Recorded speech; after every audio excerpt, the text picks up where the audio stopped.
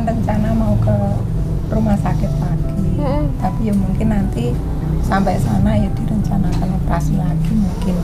Operasi lagi. Broken into, torn apart, worlds colliding, and there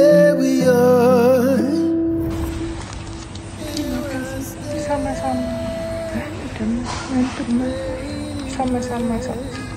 semoga bermanfaat sekali lagi dan bisa berguna untuk pengobatan dan lain-lain ya itu ya cepat sehat cepat sembuh cepat pulih jangan sedih-sedih ya bu ya tetap semangat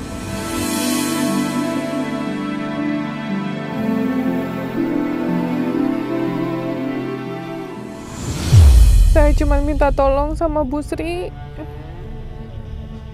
Ibu berjuang untuk sadar ya Bu ya. Saya selalu ada buat Ibu. Banyak yang sayang sama Ibu.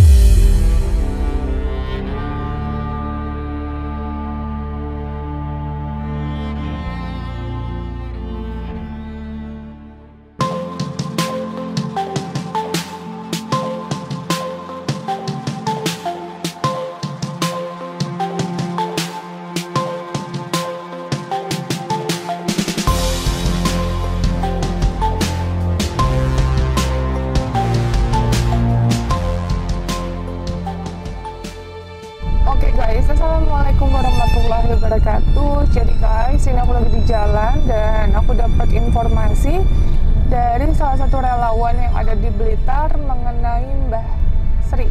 Jadi Mbak Sri yang lagi dirawat di salah satu rumah sakit di daerah Malang kemarin kan sempat eh, COVID ya dan ditambah sakit yang dideritanya tambah lama kondisinya tambah memburuk. Nah tadi aku diinformasikan sama Mbak Tia dan Mas Laras relawan kita yang dari Blitar karena Mbak Sri asli Blitar katanya kondisi Mbak Sri melemah dan sekarang sedang kritis atau koma.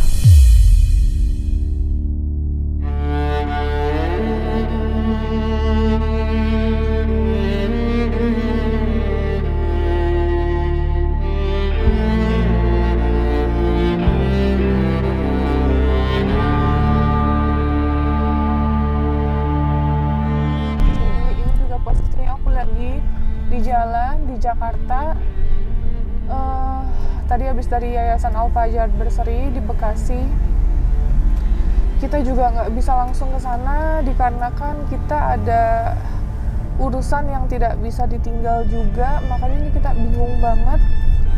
Coba nih kita telepon tadi Mbak Dia ngechat aku panik banget langsung bilang bisa visi nggak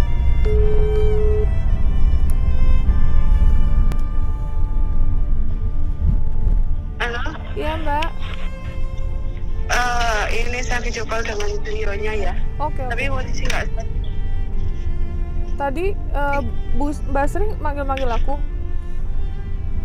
inilah posisinya. Kita buka. Oh ya Allah ya Rabbi.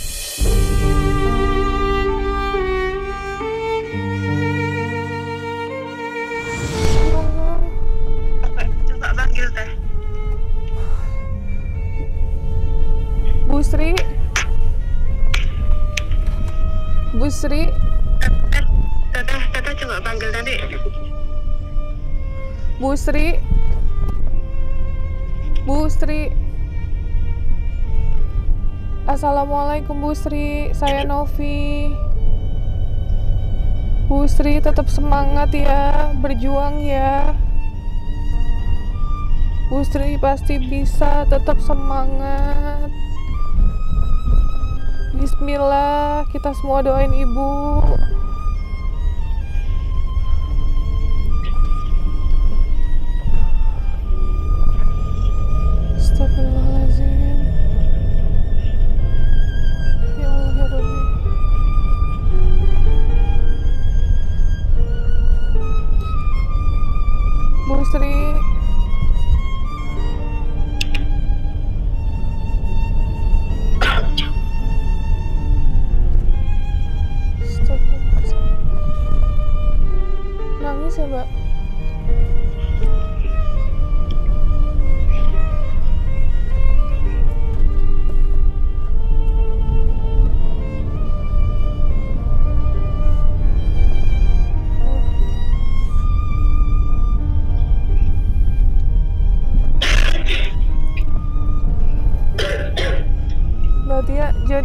Kondisi saat ini gimana?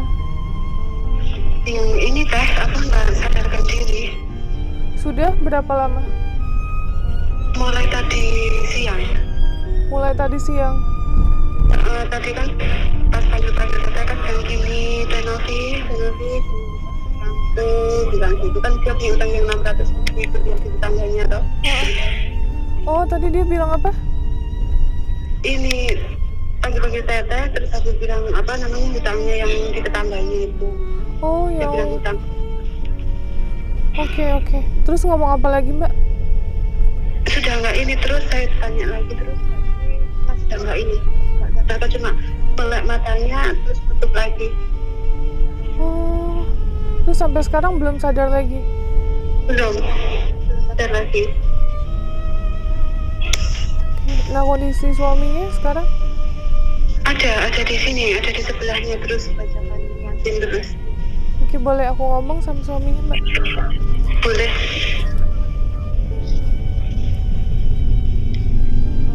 Pak Wahyu. Teteh tadi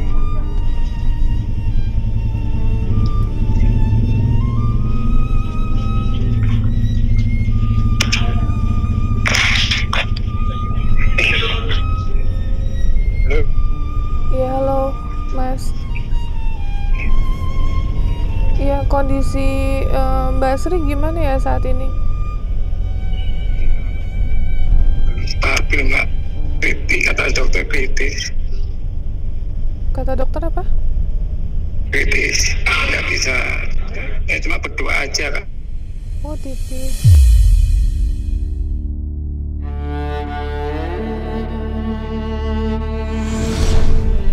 Oke, berarti udah tidak sadarkan diri dari siang ya Mas ya?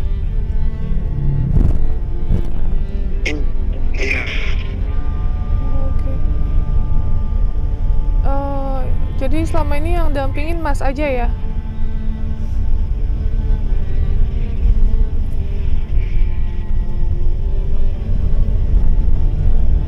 Halo, jadi selama ini yang dampingin Masnya aja ya? Iya. Oke.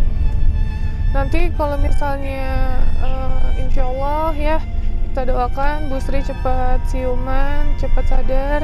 Nanti tolong kabarin saya ya Mas ya segera ya. Ya. Oh iya iya mbak. Iya iya iya. Eh, Bu Srinya kondisinya nggak tenang mikirin hutangnya gitu. Iya. Iya. Ya. Oke, boleh bicara sama Mbak Tia lagi? Iya iya. iya. Ya teh gimana? Oke, Mbak Tia boleh bantu aku untuk cari tahu nomor telepon tetangganya yang diutangin ya sama Bu Sri, terus sama total hutangnya eh, yang dibicarakan sama Bu Sri kemarin gitu boleh dibantu ya Mbak Tia ya? Eh, yang kemarin kan hanya di pos sama di tetangganya itu nanti kalau ini saya kasih tahu yang di Iya. tetangganya saya mintakan di keluarganya yang terdekat lah. Boleh boleh, iya. Minta tolong ya takutnya Bu Srinya beban eh, dan kepikiran sama utangnya gitu. Sebenarnya apa ya kalau tadi saya tanyakan ke Pak Aris sebenarnya kan hanya sudah kosong cuma ada yang beberapa keluarga yang belum ikhlas jadinya ya walau-walam lah kita tunggu seperti apa nanti jadinya. Tadi eh, beliau manggil aku jam berapa Mbak? Barusan banget. Langsung saya ini WA teteh tadi. Oh yang tadi. Oh oke. Berarti Terus baru tanya lagi, berapa menit yang "Coba lalu ya? sadarkan dulu." Baru berapa menit yang lalu ya? Kenapa? Kenapa teh? Baru berapa menit yang lalu berarti ya? Ya mungkin lima menitan lah. Boleh dibis eh, kasih lagi handphonenya sama Bu Sri biar aku ngomong dibesarkan suaranya. Oh, teteh mau ngomong di sampingnya telinganya Mbak Sri. Iya betul. Oh,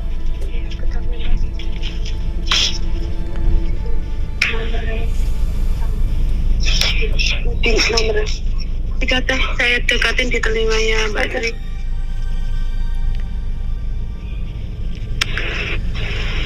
Assalamualaikum Ibu Sri. Ini saya Novi. Bismillah Ibu jangan pikirin utangnya Ya Bu ya. Saya cuma minta tolong Ibu tetap berjuang Untuk sadar Untuk eh,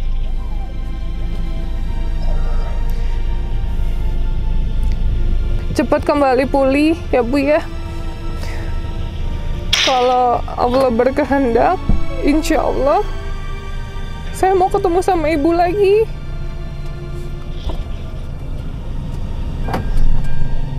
Ibu jangan mikirin utangnya. Nanti saya yang urus semuanya. Bismillah ya. Saya cuma minta tolong sama Bu Sri. Ibu berjuang untuk sadar ya Bu ya. Saya selalu ada buat ibu, banyak yang sayang sama ibu. Dan saya orang yang terus mendoakan ibu untuk ibu cepat sembuh. Saya pengen lihat ibu juga cepat sembuh.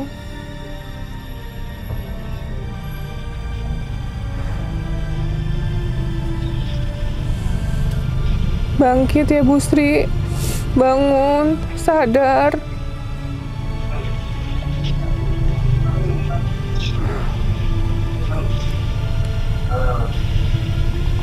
Gak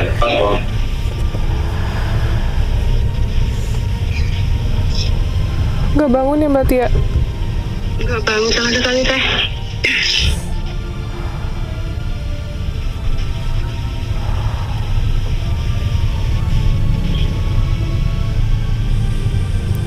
Saya percaya Bu Sri kuat.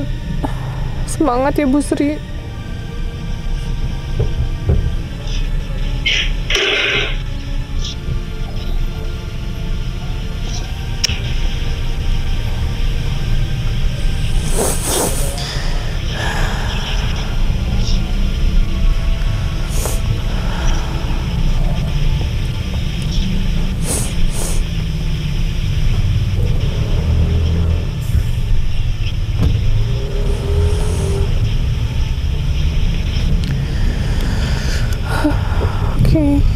Ya Mbak Tia nanti eh, tolong kabarin saya aja untuk ini ya, teh. untuk prosesnya ya. Kami Heeh, saya mintakan nomor-nomornya yang dihutangi itu nanti saya mintakan.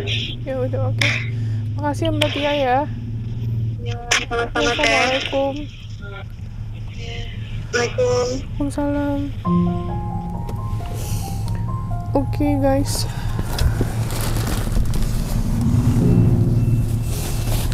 Hmm. Ah itu kondisi Bu Sri. Ya itu kondisinya sangat memburuk banget. Eh, tadi dia sempat sadar 5 menitan cuman kepikiran sama utang-utangnya dia dan mungkin menjadi beban juga untuk beliau pada saat dia sakit tetapi masih kepikiran eh, tanggung jawabnya dia yaitu membayar hutang dan kewajiban dia. Gitu. Eh, ya udah Bismillah. Kita doakan dan jujur aku masih berharap masih berharap besar sama orang-orang yang selama ini aku bantu. Eh, sakit lagi sakit berjuang untuk sembuh. Harapan aku sebenarnya simpel dan sederhana pengen melihat orang-orang yang sakit bisa sembuh bisa pulih lagi kumpul lagi sama keluarganya ketemu lagi sama aku dalam kondisi sehat dan bisa sharing sharing suatu hal yang bahagia. Itu aja sih. Jadi Bismillah Allah mudahkan Allah kabulkan Allah berkehendak terima kasih banyak sekali lagi dan nanti kita ikutin prosesnya seperti apa. Baru ketemu Bu Sri sekitar berapa kali tapi eh ngerasa sayang sama Bu Sri karena selama ini Bu Sri udah berjuang sembuh karena kondisinya sakit sudah sangat lama sekali. Bahkan eh, kelainan maaf sekali di bagian kelaminnya itu dari lahir tetapi tambah lama tambah parah. Dan kondisinya ya sangat tidak baik setelah satu tahunan ini.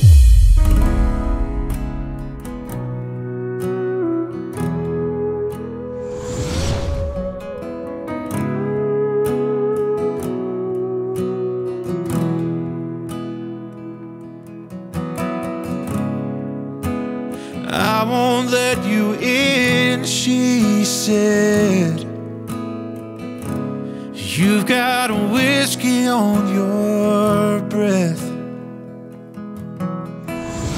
Sekali lagi terima kasih untuk para relawan yang sudah terus serta membantu Mbak Tia, Mas Laras, Pak Arif, eh, untuk semua pihak. Aku terima kasih banyak karena Mbak Tia ini, Masya Allah, relawan yang standby selalu untuk Mbak Sri di rumah sakit. Sedangkan Mbak Tia lokasinya ada di ada di Blitar, tapi rumah sakitnya di Malang. Beliau rela bolak-balik tanpa digaji, tanpa pamrih. Kita doakan Mbak Tia dan keluarga juga sehat. Kita doakan eh, semua para relawan sehat. Terus orang-orang yang berjuang sakit juga bisa sehat juga. Dan kita semua diberikan kesehatan karena kesehatan nomor satu dan sangat penting. Kalau kita nggak sehat kita nggak bisa ngelakuin apa-apa. Kalau kita nggak sehat kita nggak bisa membantu orang lain. Jadi doakan kita juga kita para relawan yang di jalan diberikan kesehatan oleh Allah, saudara lindungan Allah Subhanahu wa taala dan paling utama saya bisa ketemu lagi dengan orang-orang dalam kondisi sehat Bismillahirrahmanirrahim Assalamualaikum warahmatullahi wabarakatuh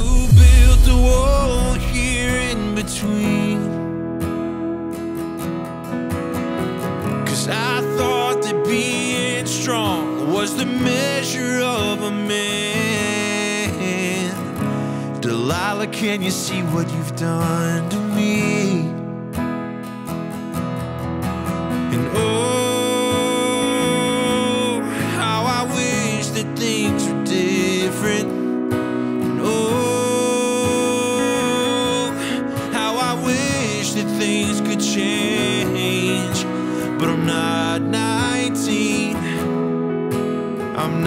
Not naive. I just wish my heart would tell my mind what to believe.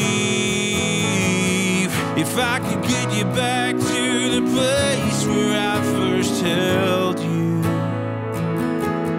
I think we'd recognize the cause